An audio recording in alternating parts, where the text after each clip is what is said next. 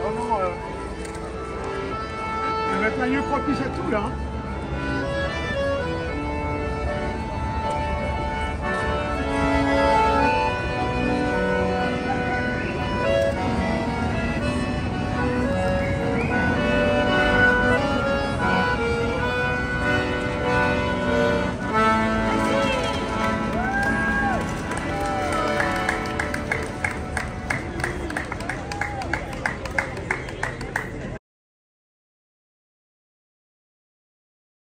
Thank you.